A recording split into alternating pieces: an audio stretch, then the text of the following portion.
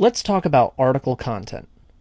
In this next video, I will be talking about your article content, which is another important SEO tip. You need to capture the attention of your readers with your content. Don't bore them. A good piece of advice is to use lists explaining the product benefits. Develop two sets of bullet points about these benefits. See how I've listed the benefits of using the product?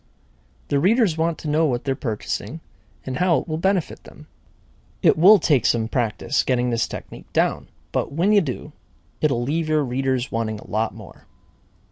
Always offer them useful tips throughout your article, and they will want to read more and more about the product you are promoting. Remember, content is king, so the key is to write quality content for all of your